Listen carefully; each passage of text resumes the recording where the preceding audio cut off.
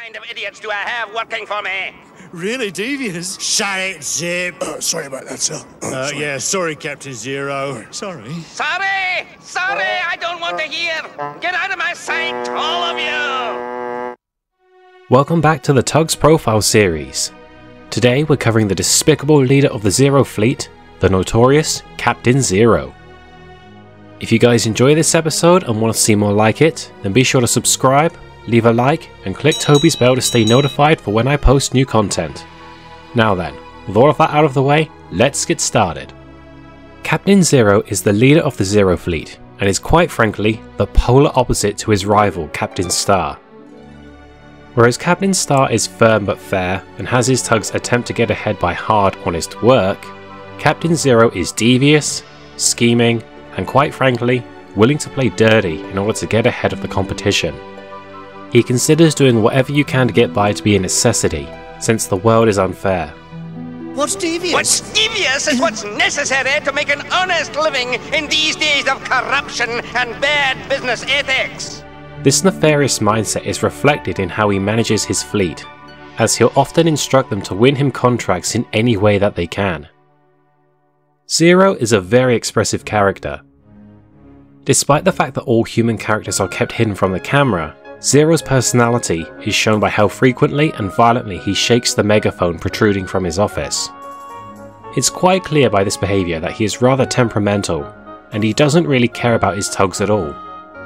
He merely sees them as a means to an end. His attitude also appears to have rubbed off on some of his employees too, particularly Zak and Zorran, the latter of which he often puts in charge of jobs and winning contracts. It's pretty obvious that Captain Zero is a rather shady character. In fact, he is so shady that it is heavily implied that he was, or might even still be involved, with the Mafia. Hell, his connection to the notorious and frightening gangster Johnny Cuba is a clear indicator of this.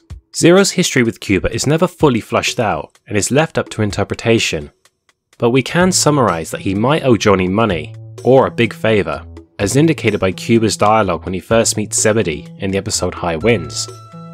Zero owes me, understand? So don't get funny or you'll be in deep trouble, and I do mean deep. Apparently, the captain was supposed to appear in this episode, but his role was sadly cut.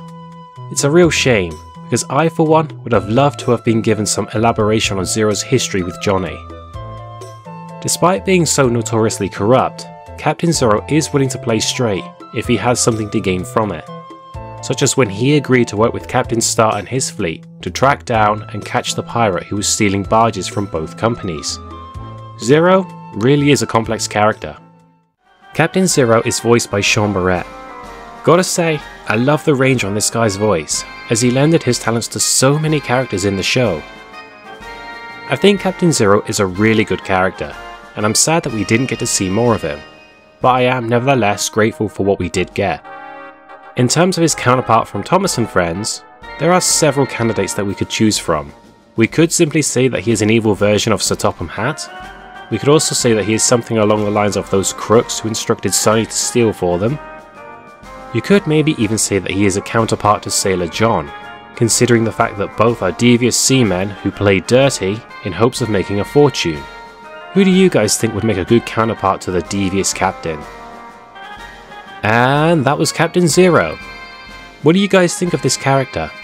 I, for one, really like him, and as with many of the show's characters, I have grown to appreciate him even more after researching and doing a video on him. As always, I hope that you guys enjoyed this episode. I don't have any updates for you, other than the Halloween episodes are coming along nicely. Hope you're looking forward to them as much as I am. Now until next time, I've been Cinders and Ashes UK, you've been awesome, and have a great day. Bye!